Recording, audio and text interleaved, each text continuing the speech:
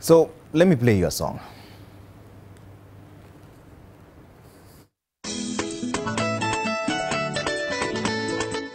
This Point Records ya Mwaki Junior.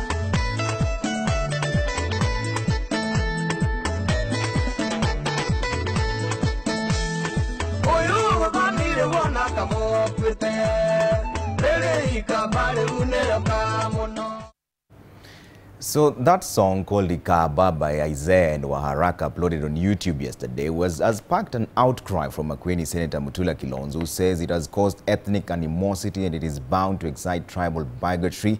The letter is sent to the NCIC chair which he also responded to highlights a few things there and Mutula on that letter says the first part of the letter reads that the, even though the message may be targeted to Kitui governor, that's Charity Ngilu, for banning charcoal burning in the area, it then encompasses all the Kambas purporting that they only feast on mangoes and once the mango season is over, then they will proceed to feast on dogs. Mutula says the words used are derogatory, distasteful and unnecessarily provocative.